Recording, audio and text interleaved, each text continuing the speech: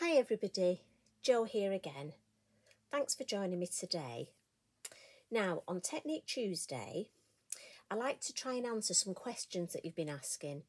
And one of the, well, it's not even a question, one of the comments that so many of you have told me is that you've bought the gel press.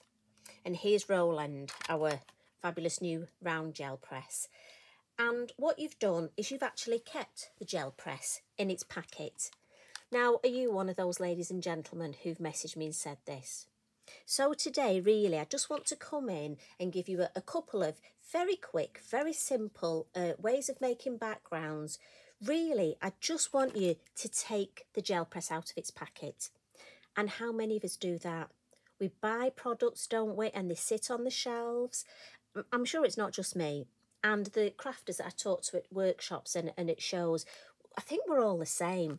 So, to our gel press, when you take it out of the packet for the first time, don't discard the packaging because it's a really good way of keeping it safe. The gel press is a fabulous thing.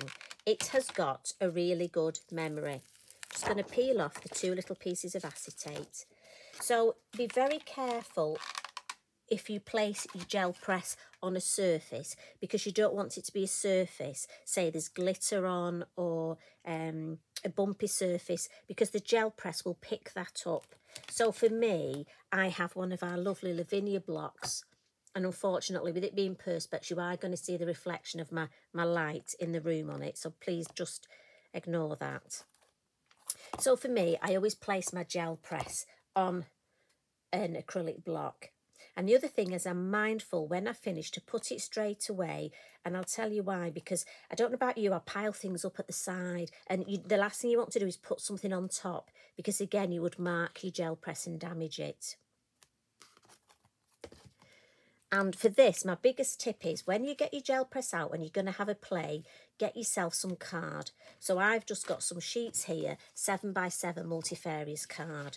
Because once you start, it is quite addictive. And I, well, I just find I make background after background.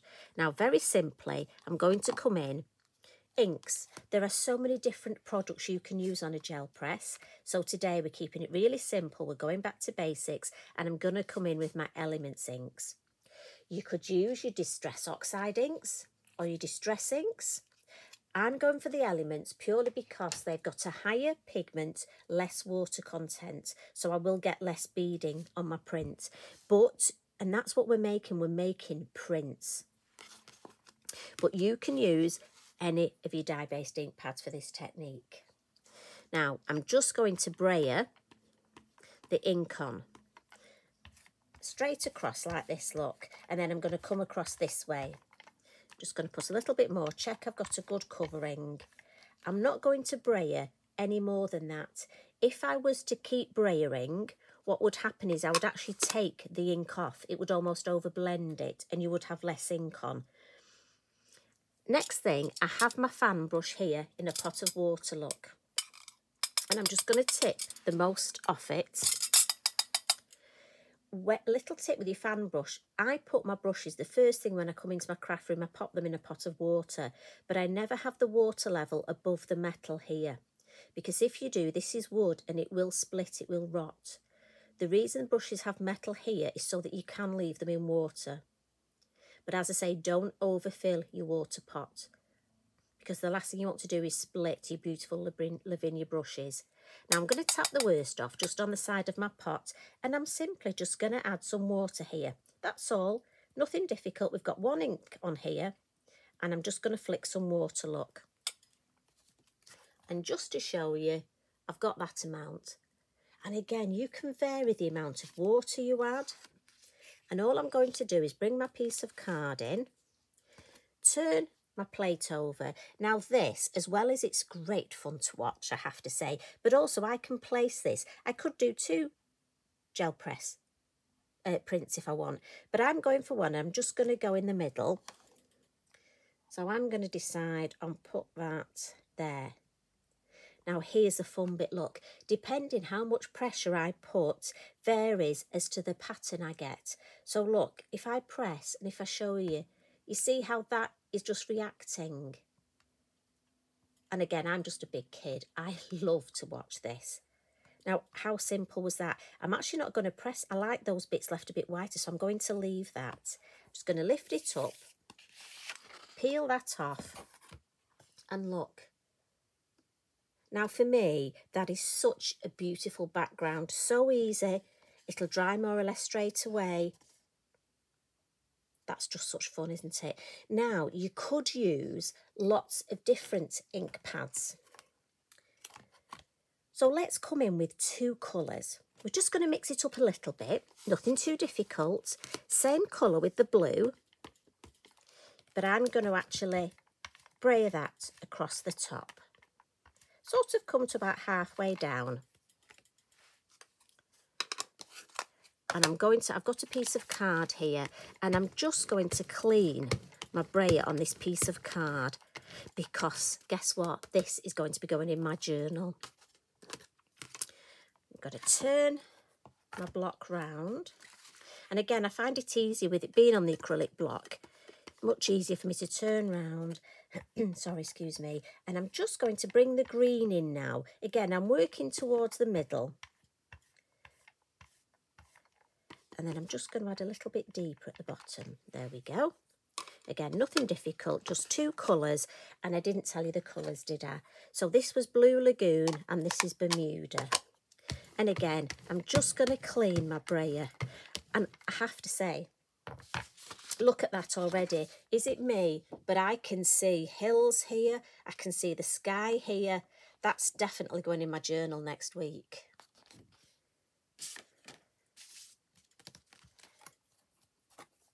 Now, instead of adding water, I'm going to introduce my Brusho powders. Now, these are in my lovely little pixie pots. Now with these, a few little tips. I name, I put the colour, a little label on the lid and on the side of my pot so I know what colour's in each pot. When I make a new mixture, I just tip enough powder to cover the base of the pot. Then I fill it to sort of four-fifths with water. Now this is just a guide. Don't overstress. You can always add a little bit more water or a little bit more powder. And the other little tip, these lids fit snug. They are very tight, which is good because I take this with me. It travels to shows, to workshops, and, you know, touch wood, touch my head, um, I've never spilt any yet. But I find them quite tricky to get off. But if you pop the little um, lip to the outside, for me, I find it easier to get the lid off because it's on the outside. Now, actually, that one I've just opened, that's the purple. That's a good thing to show you. If ever they dry up like that, don't worry. I will just add a little bit of water to that, just a little. That will rejuvenate the crystals that are there, and that will give me a little bit more before I need to mix any more. So again, when I put the lids on, look, I would always put this lip on the outside so it's easier for me. Now, back to our piece. Again, fan brush in my water pot, tap some off, and I'm going to come into my yellow first and I always turn twist my fan brush because I find it just helps if the crystals had almost weren't quite dissolved and then I'm going to put some yellow round the base here and then back in my brush in the water pot just to clean off again tap off the most don't want too much and then into this is I think this is turquoise let me read the side.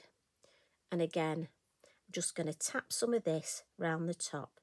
So we're using two colours of ink this time, and instead of water, we're using two colours of brush Brusho powder already mixed with water. And we're just going to do the same as we did before. She says if I can get a piece of card. And I'll just slide this to the side a little so I can decide, again, where I want this. And I sort of want to have that sort of shape. And in the middle, and again, press down, look.